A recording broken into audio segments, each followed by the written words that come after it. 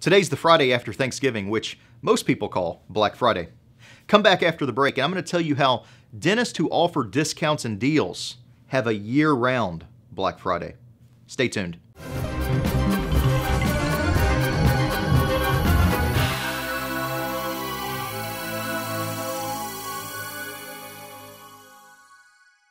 Colin Receveur here.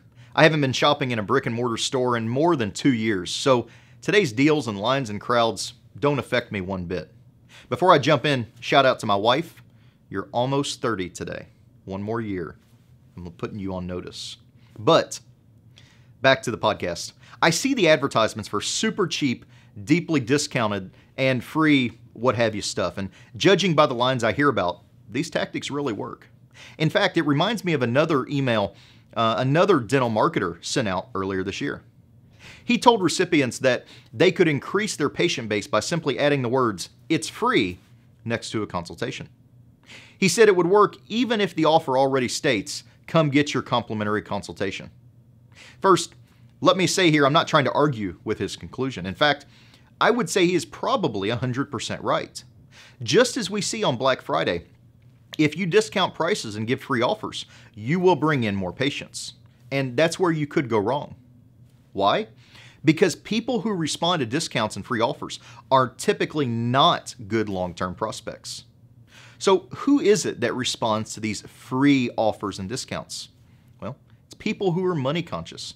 It's people who don't have disposable income.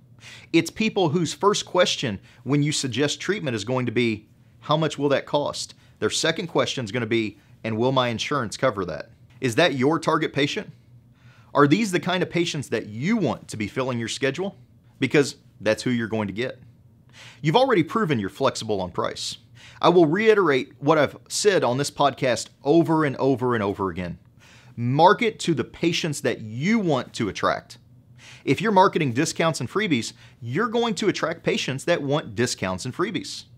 That means when it comes time to recommend a denture, a crown, or implants, they're going to shop for the cheapest provider.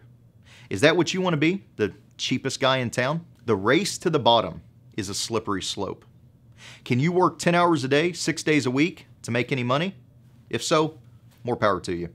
But if you want to know how to have more patients, more profits, and more freedom, schedule a patient attraction blueprint session. They're free to any serious dentist who wants to see what a patient attraction system that can double your practice might look like. For more information, go to smartboxwebmarketing.com slash blueprint. Have a great weekend and always keep moving forward.